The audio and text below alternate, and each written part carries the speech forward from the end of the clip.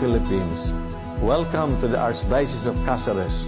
Welcome for the National Youth Day in Naga City, Camarines Sur. We come together to proclaim that indeed Jesus is alive. By our celebration, our singing, our meetings, our sharing, our celebration of the liturgy, we will proclaim in a loud voice, with a big heart, with a joyful spirit, that indeed, according to Pope Francis, Jesus is alive. Christus vive.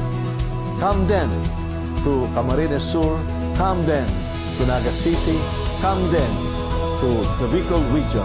If you want to feel cool, be cool, come to be cool.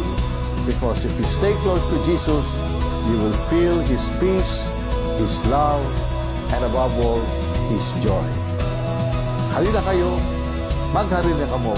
You're all welcome to the Archdiocese of Cáceres, Camarines Sur. God bless you.